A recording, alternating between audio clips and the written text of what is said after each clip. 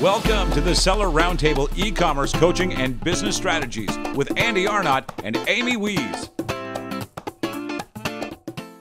Should uh, I know you kind of you mentioned uh, you know having separate bank accounts is kind of a, uh, one of the processes that you try to get uh, clients to put into place uh, in order to you know get a get a good handle on um, um, what kind of profit you're actually making. Any other examples that you can give us of, of some systems that you uh, you you help your clients uh, put into place to uh, ensure that they're uh, you know being profitable? Well, the the bank accounts are where it starts, and we start with a few basic accounts. And I like to start off that way rather than uh, putting a whole lot of accounts out there that there's a whole lot of moving parts. So I like to start with a few bank accounts, but then over time we add to them. Um, we add things like um, um, maybe a marketing account for advertising. Maybe there's an account we do for shipping. Um, I've got one client, he's up to 23 bank accounts, but he can tell you what percentage goes to each one of those things in his business. So it's almost like he creates his budget by create using these bank accounts.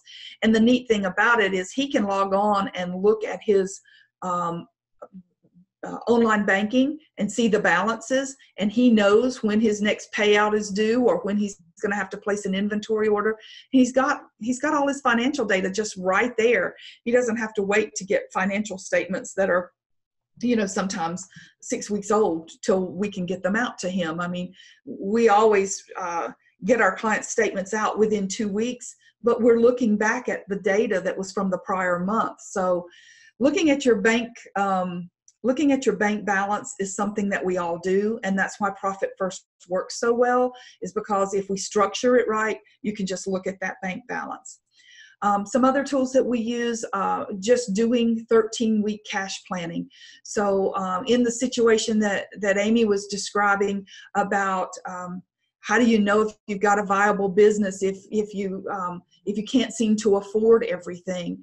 Well looking at what the cash uh, income and outgo is going to be over a, a quarter or 13 weeks. And looking at it week by week we can start to understand where the where money is leaking out of the business and what we can do to um, to plug those holes and and beef up the system for our clients Thanks for tuning in. Join us every Tuesday at 1 p.m. Pacific Standard Time for live Q&A and bonus content after the recording at sellerroundtable.com. Sponsored by the ultimate software tool for Amazon sales and growth, sellerseo.com and amazingathome.com.